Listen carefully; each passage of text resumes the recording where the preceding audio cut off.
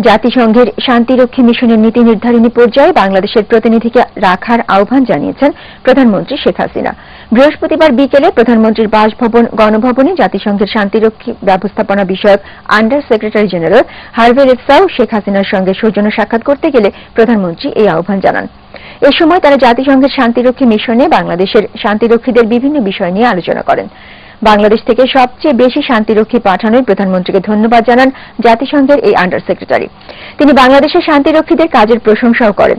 বিশেষ করে বাংলাদেশের মহিলা শান্তিরক্ষীরা কাজের প্রতি অনেক বেশি দায়িত্বশীল জানিয়ে জাতিসংঘের আন্ডার সেক্রেটারি বলেন, ভবিষ্যতে বাংলাদেশ থেকে আরও শান্তিরক্ষীকে নিয়োগ দেওয়া হবে। এ সময় প্রধানমন্ত্রী বলেন জাতিসংঘের সবচেয়ে বেশি শান্তিরক্ষীর দেশ হিসেবে নীতি নির্ধারণী পর্যায়ে বাংলাদেশের প্রতিনিধি থাকলে তাদের মাঠ পর্যায়ের কর্মীদের কাজের অনেক সুবিধা হবে।